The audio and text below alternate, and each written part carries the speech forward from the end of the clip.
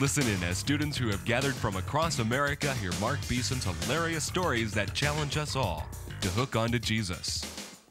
Luke chapter 19, verse 1. It says, Jesus entered Jericho and he was passing through.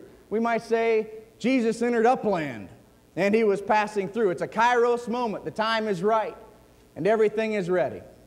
Well, Jesus entered the community he was passing through, and verse 2 says, There was a man in that community by the name of Zacchaeus. He was a chief tax collector and very wealthy. Nowhere else in the scripture does it talk about someone being a chief tax collector. If any of you have the unfortunate responsibility of being a tax collector, or if you have the high ambition one day of becoming a tax collector, you will discover that people don't like you. And they didn't like Zacchaeus. He was a chief tax collector. In this day, the rulers, those who were in charge politically, said to the tax collectors, You may collect the taxes for us, and in addition to that, you may have the freedom to collect whatever above and beyond we require that you would like. Anything you can get beyond what we want, you can keep. So Zacchaeus says the chief tax collector evidently was over a number of other little underling tax collectors who ran around and did the dirty work, and he reaped the benefits. Well, Jesus was passing through his community, and something happened in this man's life. He was powerful, he was wealthy, he was over many other uh, leaders, he was responsible to them, he was hated chief tax collector. But verse 3 says he wanted to see who Jesus was. If some of you are compulsive note takers, you might write in the margin of your Bible, curiosity.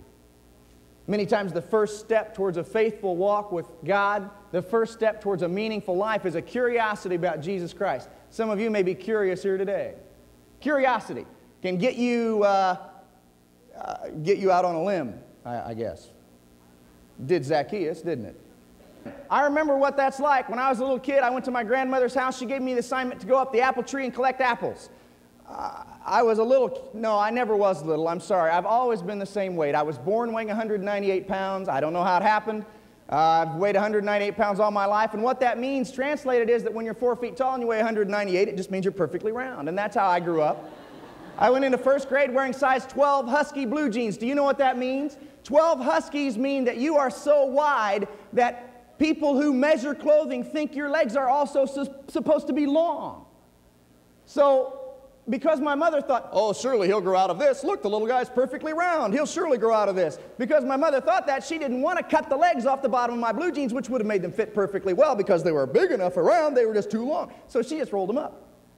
And some of you have done that, you know. It's, it's coming back. This was, this was back in the dark ages, but it's coming. You, you know, you roll up your jeans. Well, you're not supposed to roll them up 42 times. Because then the cuff is not only rolled up in there, but it's also this wide. So wherever you walk, you have to go zitty, zitty, zitty, zitty, zitty, right? Well, that's how I grew up. First grade, 12 Husky blue jeans, 198 pounds, four feet tall. Went to grandma's house. She said, Son, get out there, get up that apple tree and pick those apples. I looked. I thought, how can I? So I tried. I climbed up the tree. You know, I was holding onto the trunk, and uh, because that's where the limbs are this big around, I thought, well, I'll stay where it's safe. Right there next to the trunk, held onto the held onto the trunk with one arm, stood on the stood on the limb with my feet, and I reached out, picked all the apples on the tree, within reach of while I was holding onto the trunk. Got three, threw them down to Grandma. Grandma looked up at me. I'll never forget this. She caught all three apples. She was an extremely agile woman. Caught all three apples and she looked back up, up at me, waiting for more. I looked back down at her, saying, I'm not moving, man. I'm on this big limb. I'm holding on. No way. She said, Son, I'll never forget. She said, Son, get out there on the limb. That's where all the fruit is. I remember that just like it was yesterday. And I've been out on a limb ever since. Sometimes that's good, sometimes that's bad. But, folks, I'll tell you what, sometimes it will require a bit of risk it will require you to go out on a limb if you're going to see fruit in your life, if you're going to, if you're going to make a difference so that there's fruit in your life. Well, Zacchaeus was curious about Jesus, and because he was curious, he got out on a limb. That's what it says. Evidently, he told his secretary, he said, Harriet, power lunch today. I'm taking a long lunch hour. Don't ask me why, because it's none of your business. You work for me, I'm in charge. Remember me, I'm the chief tax collector. I'll be back whenever I want to be back. You do your job. So he left.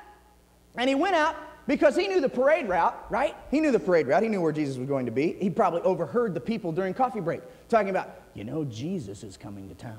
Yeah, Jesus. Yeah, that guy. Yeah, the one who's done all the, yeah, that same one. Coming to town. Well, poor Zacchaeus, there he is. He's never met this man. He's curious about Jesus, who he is. His curiosity builds till finally gets out on a limb, right? That's what it says in here. Wanted to see who Jesus was, but he was a short man, so he couldn't because of the crowd. Now, folks, a little sidelight here. Consistently in the scripture, you will see the crowd in the way of those people who want to see Jesus. In fact, you'll discover, friends, that if you follow the crowd, many times it will be difficult for you to see Jesus. It will be difficult for you to get close to Jesus. And you may have to do what Zacchaeus did if you're going to be close to Jesus Christ. You may have to decide to kind of run on ahead, to, to run around the crowd, to get ahead of the crowd, away from the crowd, in order to see who Christ is. That's what Zacchaeus did says he couldn't see because he was short, and so because of the crowd he couldn't see. And in verse 4 it says, So he ran on ahead, climbed up in a sycamore tree to see him, since Jesus was coming that way. Jesus was headed that way. Zacchaeus ran around the crowd, got up in this tree. Now, curiosity will do this to you.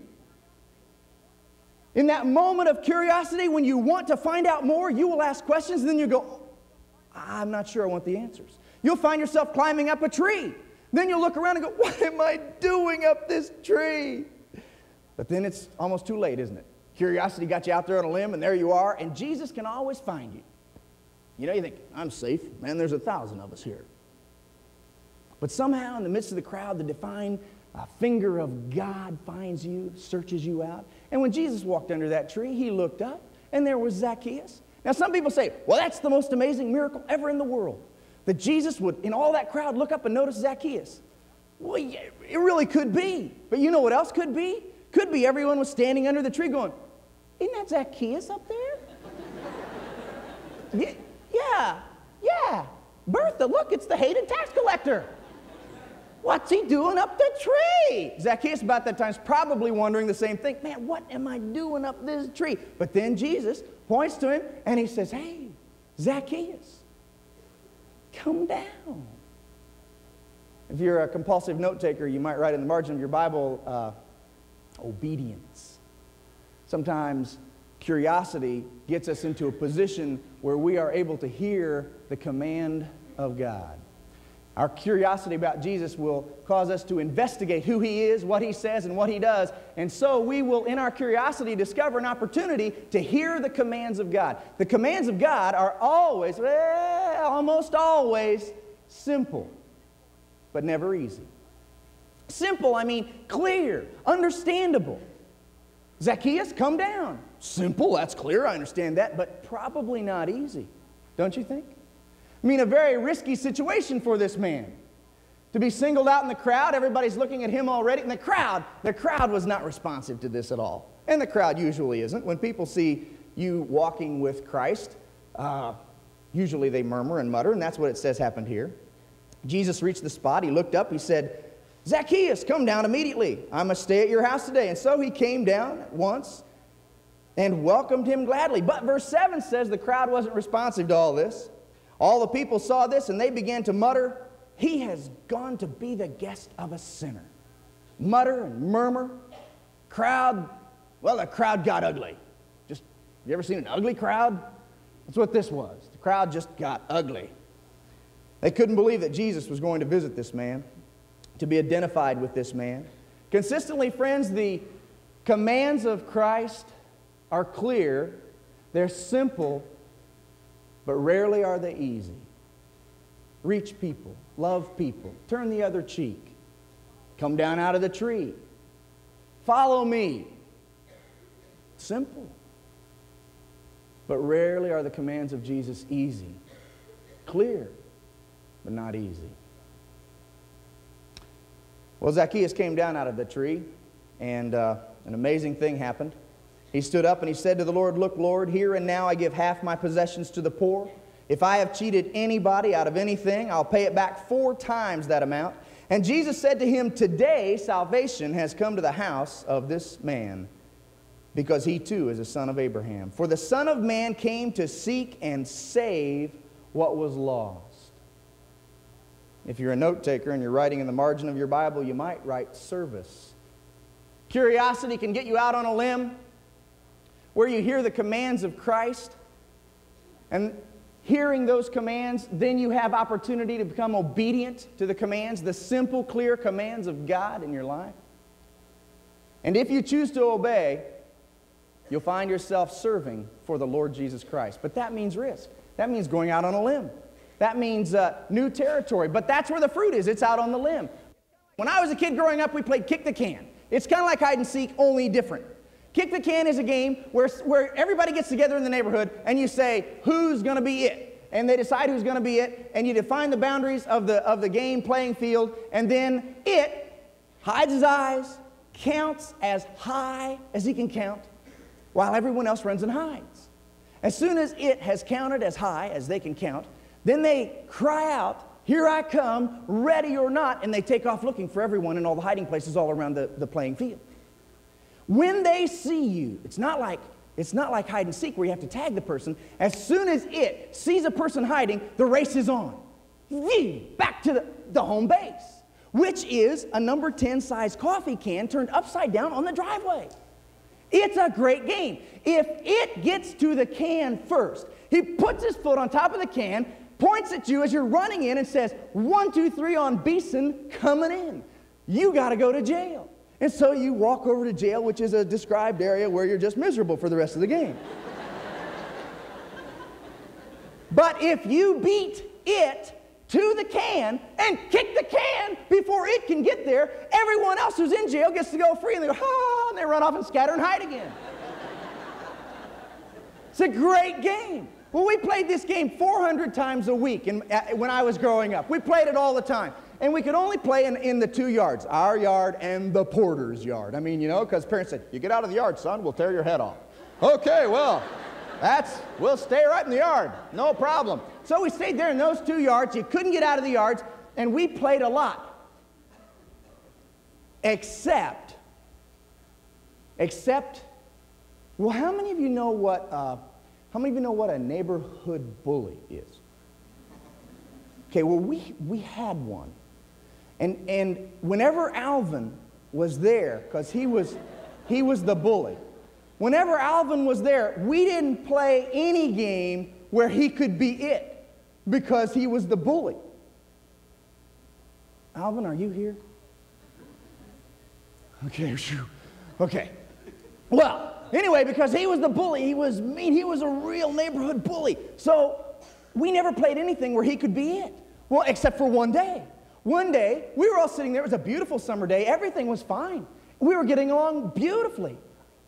Until Mitch, the kid who lived across the street, said, Hey, let's play kick the can. Went, no, no, Alvin's here. No, no. But before I could stop him from initiating the game, Alvin said, Yeah, and I'll be it too.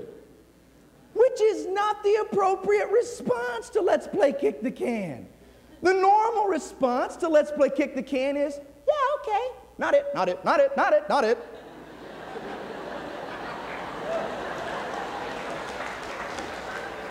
Alvin's response was, yeah, and I'll be it too. And he started to count. Alvin didn't even go back to home base to start counting. Alvin just started counting, I'll be it. And he hit his eyes like this. One, See, you know, because when you're, you got to count as high as you can count, and then you say, here, I come right here. He started counting. One, two, here I come. well, we knew how he counted, that he could only count to two. So as soon as he said, yeah, I'll be it, I went, ah, then we all turned, ah, kids were scattering all over everywhere. We, we knew we were in trouble because there are only so many places to hide in two yards. And we'd already played this game 300 times that week, so everyone knew every hiding place. I'll be it. One, two, ah! Here he came, you know, giant Alvin the bully. Oh, we took off running, and I was running faster than my little round body had ever run. I remember going around the corner of Mrs. Porter's house, right past her hedge, hedge bushes, around the corner. And as I started to go past the final bush on the corner, huge tall pine tree there. Mrs. Porter always said, Don't ever get in the hedges, boys. But Alvin was after me. I don't know. I'm sorry, but it was the pressure of the moment. V, I ducked into the pine tree.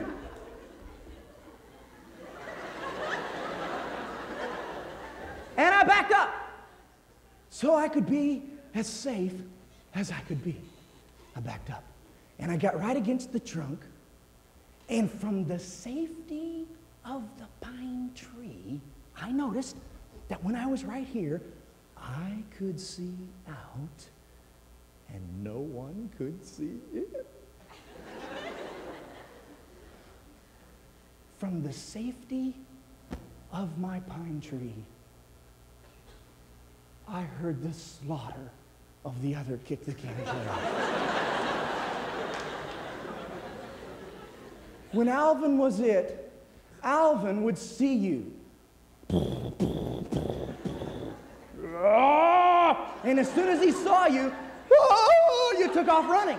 Not because he was racing to the can and he could beat you there, because he ran right at you. Professors and teachers, how many of you have bad memories from your childhood of a thing called a, a, uh, a headlock? Bad memories. Oh, Alvin would get you and put you in a headlock and drag you to the can by the head. And he'd put his foot on it. One, two, three on Beeson coming in.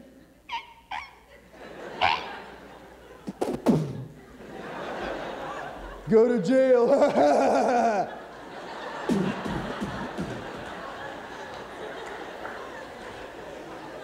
the slaughter of the other kick the can players from the safety of the pine tree. But kids are resilient, right? So they bounce back. After a little while, you know, their little red ears got better and they were standing in jail miserable and then they kind of recover. And, and from the safety of my pine tree, I heard them in jail calling. Save us!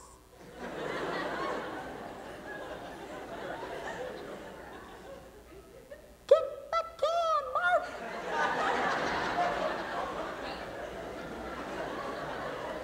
You can do it! And, and I began to be pumped up. I, from the safety of my pine tree, I began to think, I could do this. I could do this. I could kick the can, set the captain free. Oh, man. I, but then,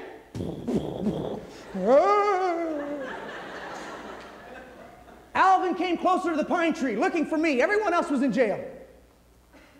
He knew the one person he had to get. He said things about me personally.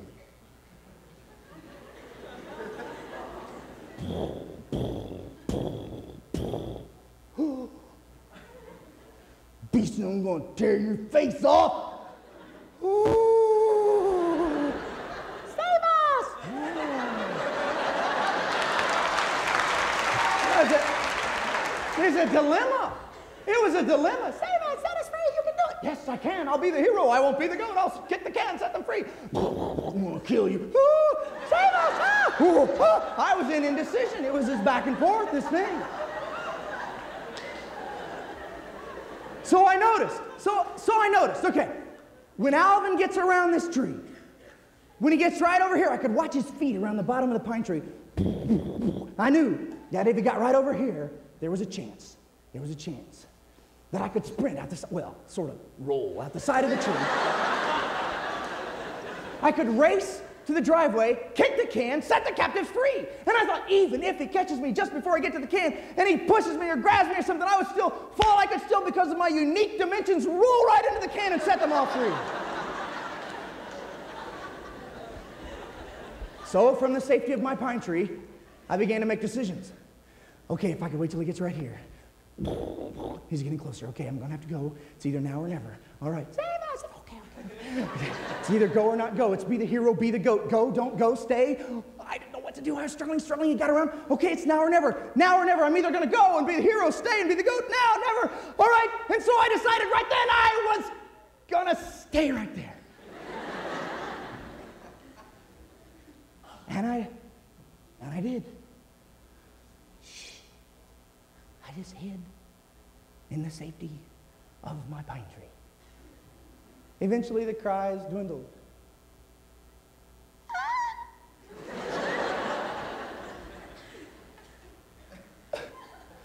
I was hiding here. And they just went home. I was still here.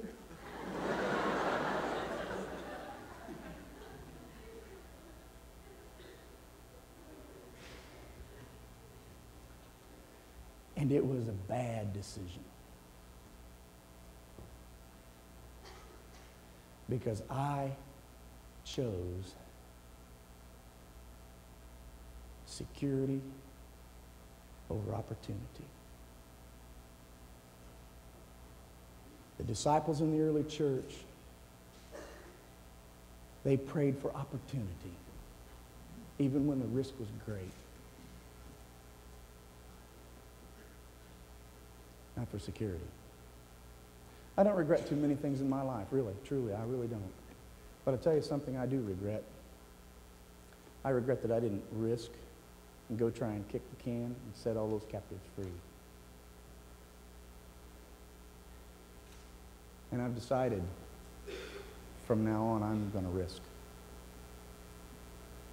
And I want to invite you to risk, to set captives free. Jesus said at the end of this story, I've come to seek and save the lost. Earlier in Luke, Luke writes that Jesus said, I've come to set the captives free.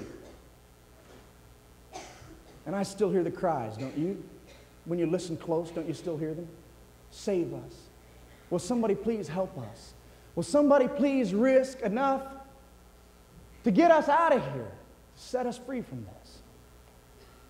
Do you hear them crying? Do you hear the cries of the captives? They're your friends, family. Set us free. They're behind walls, many of them in prisons, some of their own making.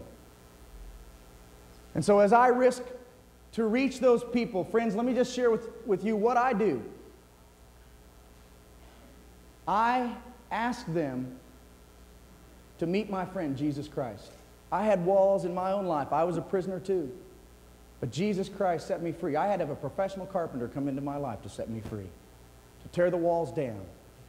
And, friends, I want to invite you to the greatest adventure of life this morning.